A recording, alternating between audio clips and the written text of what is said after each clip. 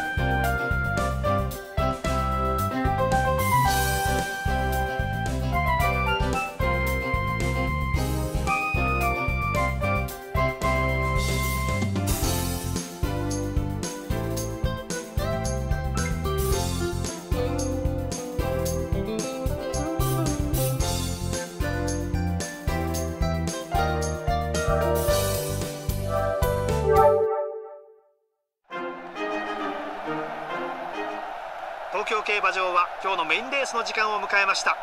今年もこの府中の長い直線で壮絶な叩き合いが見られそうです。さあ春のマイル王決定戦 G1 安田記念の発走です。さあ最後は大外枠の放映素振りゲートに入って体勢が整いました。スタートしました。中隼人これはいいスタートを切りました。ジョー・ロアリンこの馬も好スタートを切りました。ダイタクヘリオス前に行きそうです。これに続いてダルシス・ノワール並んで17番日高隼人。その外に放映素振り占領役者そのうちに続いています。並んで10番ザッキー・ゲランメジロマーシャスすぐ後ろその外にミスター・ブルックスミュージックタイムそのうちに続いています。黄色の帽子名称アスペンその後ろその外からレッツゴーターキーその後ろにインターアリバートしんがりから最上チャンピオン。ここまでほぼ平均ペース。展開への影響はなさそうです。ここでナルシス・ノワール先頭に変わりました。放映素振り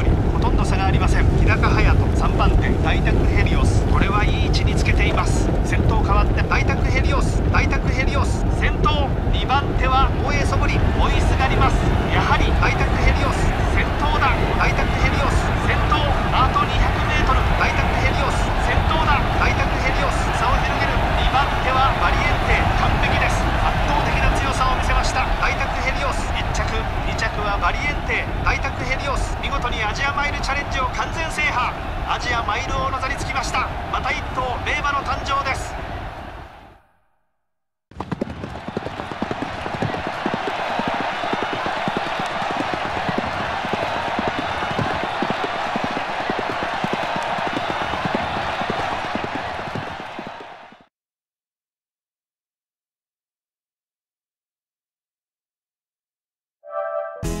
うん。